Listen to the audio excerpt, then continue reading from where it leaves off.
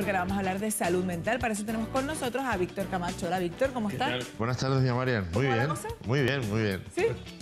Todo marchando. Todo marchando y vamos a hablar de un tema que no tiene mucha continuidad con otros temas que hemos tratado en lo que se refiere a parejas, pero sí en lo que se refiere pues a no ser del todo eh, amable, por ponerlo de forma muy suave, Te vas acercando. con, eh, con otras personas. Sí, yo creo que es un tema casi más de familia, ¿no? Porque Total. El tema de- del acoso, ¿no? Del acoso escolar, ¿no? Que es un tema que...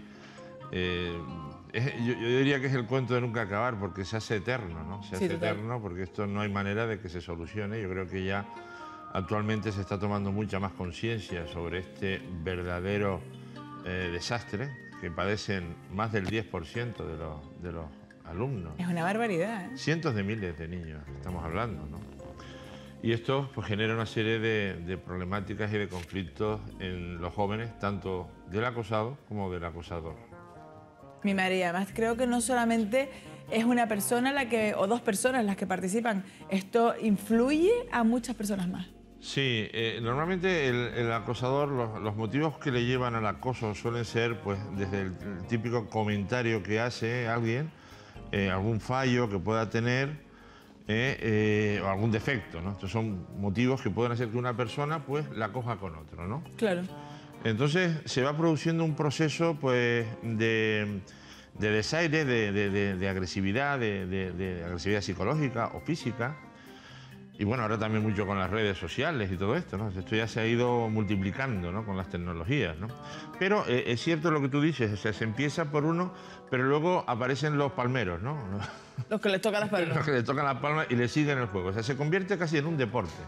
Porque claro, si uno tiene un problema con alguien, lo soluciona o arreglándolo o rompiendo la amistad o la relación, ¿no? ¿Sí? Y no vamos Y allá. nada más, se acabó. Oye, pues mire, tú y yo me has fallado en esto, pues yo prefiero ya que no. Como una relación sentimental, vamos cada uno por su lado y adiós muy Correcto. buena. Pero no, aquí empieza a gestarse una guerra psicológica, un acoso, eh, eh, en, todo, en todo su amplio sentido y espectro, pero a su vez se van sumando al acosador otros eh, que van al mismo tiempo fomentando también y, e incrementando el acoso, ¿no? creándose ya grupos en contra de una sola persona que no paran de acosar. Incluso ya es como un hobby, ¿no? ya nos reunimos a ver qué mm, faena le podemos preparar para, para esta tarde, para este fin de semana o para cuando sea. ¿no? Es tremendo, Víctor. ¿Qué consecuencias tiene a la larga? Me refiero, tú en la consulta, cuando te van a ver gente que Sí. pues, ha sufrido esto, lo habrá superado mejor o peor, pero ahí quedan siempre Secuelas. secuelas, ¿no? Hombre, de- evidentemente, ¿no? El, el- el- el acosado,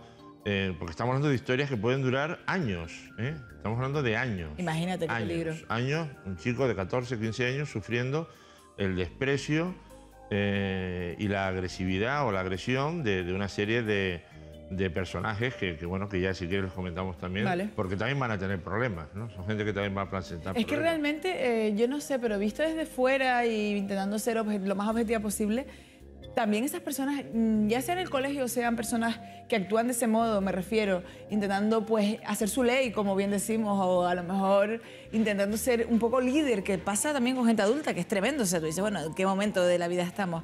Eh, son personas que realmente tienen un complejo, tienen un- una Eh, inseguridad, ¿qué es lo que tienen? Hombre, lo, lo que se manifiesta el, el acosador man- eh, está manifestando, porque estamos hablando de la edad de la adolescencia, ¿no? Principalmente, eh, el acosador está indicando un alto grado de problemática psicológica, ¿no? Sí, ¿no? De un grave problema de salud mental que se empieza a denotar en este tipo de situaciones, ¿no? El problema es que un acosador de este tipo, esta agresividad, esta violencia, la va a seguir desarrollando a lo largo de su vida y según se den las situaciones se va a manifestar. Estamos hablando de niños que pueden llegar a ser tiranos con sus padres, estamos hablando de eh, maltratadores eh, físicos, psicológicos, eh, bueno, de, de- de- de- la mujer, etcétera, ¿no? Estamos hablando de una persona que toda su vida va a presentar problemas y algunos lle- llegando a casos de sociopatías o psicopatías. Mi madre, tremendo problema. Hablabas de sus padres, podía ser tirano con sus padres, pero los padres tanto del acosador como del acosado también ahí tienen... Hay diferencias, ¿no? O sea, está el, el- el- hombre, los padres de- del acosado están viviendo un infierno porque están buscando quién les ayude, quién les solucione y no encuentran muchas veces, porque Claro. muchas veces el centro escolar pues no reúne las condiciones en cuanto a preparación, en cuanto a formación de los equipos de, de educadores, de profesores, que puedan atender este tipo de cuestiones, que además la atención tiene que ser inmediata. ¿Eh? Se tiene que tomar medidas de manera muy inmediata. De hecho, actualmente todos los centros tienen un currículum para la atención del acoso escolar.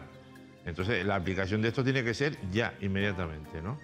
Y luego tenemos padres que, eh, conocedores del tema, de que su hijo está siendo, eh, es acosador, muchas veces pues lo justifican. Que, que, el niño sea acosador. ¿Pero en qué se puede amparar a alguien que Pues porque lo que le hizo el otro estuvo muy mal. Y entonces, claro, él está muy resentido y, no se puede quitar encima lo que le hizo, ¿no? Y entonces hay muchos padres que en lugar de resolver, casi lo, arropan en, su acoso, ¿no? Es otro, otro tema que es un error educativo porque evidentemente el acoso que llega ya al sadismo en muchos casos, pues no se puede plantear como, como algo que, que pueda ser justificado. ¿no?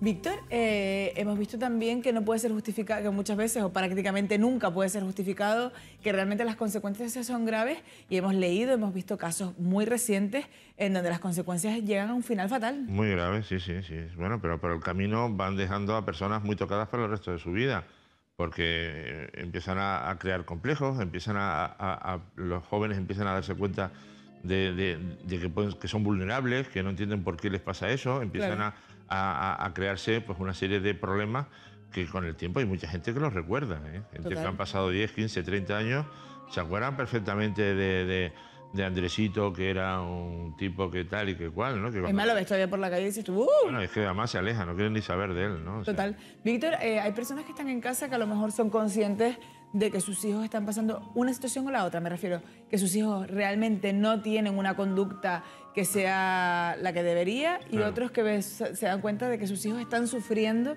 esa conducta que no se debería. hay padres, hay padres que evidentemente pues que no saben de esta historia, porque muchas veces los hijos lo esconden, no quieren que lo sepan.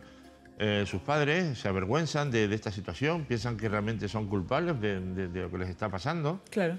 Y eh, bueno, pues empieza, se empieza a denotar una serie de alteraciones en el chico, ¿no? Se ve pues eh, no, el que no quiere ir al colegio, el que eh, pues se va de, de, las conversaciones, el que esté decaído, el que esté ausente, el que no quiera salir a la calle con los, amigos, no quiera ir porque sabe que a lo mejor se los va a encontrar en, la plaza de, la plaza de donde sea.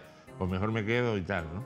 ¿Cómo debemos actuar? Vemos que cambios, hombre, evidentemente es muy importante y esa es la clave, que la comunicación entre padres e hijos esté siempre abierta, ¿no? Y que siempre el hijo vea en su padre una posibilidad de comunicarse, porque para eso están los padres, para ayudar, para educar y para sacar adelante y para que sus hijos sean felices, ¿no?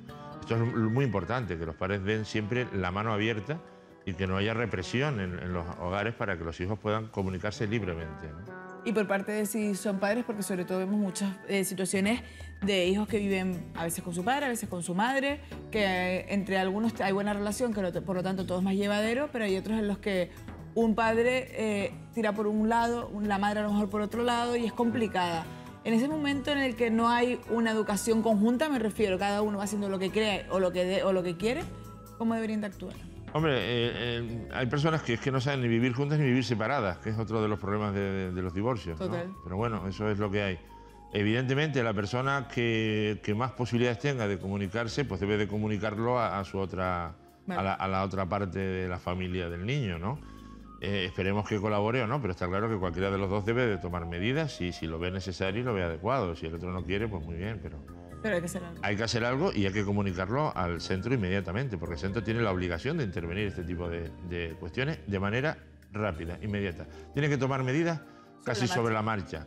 ¿eh? Y a partir de ahí, viendo la colaboración del niño y viendo la colaboración de la familia, eh, si no, hay que llegar a la inspección de educación, ¿no? la inspección educativa para que se tomen medidas inmediatamente. ¿Eh? Y bueno, hay que reunirse, hay que hablar, hay que, hay que plantearse la intervención, incluso el tratamiento de este tipo de niños que están eh, creando, creándose un problema a ellos mismos y creando otro problema a los demás niños. Víctor, te veo en 15 días. Aquí estaremos. Muchas gracias. Nada, a ti, como siempre.